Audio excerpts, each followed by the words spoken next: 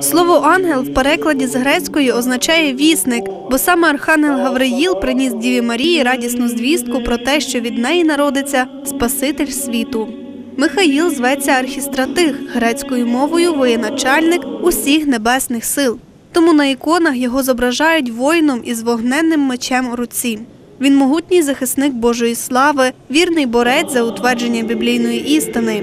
Його воїнство ангели і архангели, херовими і серафими, престоли і влади. Кожна людина має свого ангела-хоронителя, кожна родина також, кожен нарід має своїх ангелів-хоронителів. І це є ті безтілесні сили, які найближчі до Бога, які нам є прикладом того, як треба виконувати Божу волю і бути з того щасливими. Вони є також натхненниками духовної боротьби для усіх нас.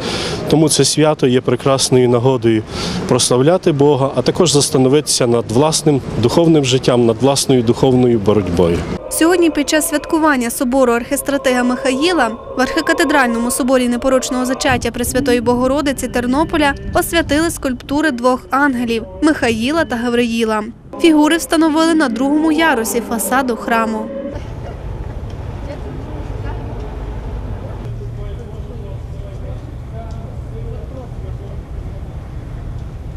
Архангела Гавриїла розмістили на другому ярусі фасаду собору над фігурою Пресвятої Богородиці. Він символізуватиме благовіщення, кажуть священники.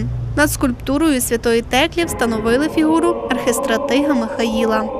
Сьогодні ми освятили скульптури двох архангелів, які будуть прикрашати фасад архікатедрального собору відтепер і будуть охороняти наше місто, нашу парафію, наш край від всіх демонських сил, а одночасно будуть усіх нас надихати також до того, щоб вистояти в духовній боротьбі і залишитися на стороні Бога, на, на, на стороні добра і вистояти в боротьбі проти зла і проти тих спокус, які на життєвому шляху є для кожної людини. Встановлені фігури впродовж року виготовляв скульптор Роман Вільгушинський за сприяння тернопільського мецената Степана Гирила.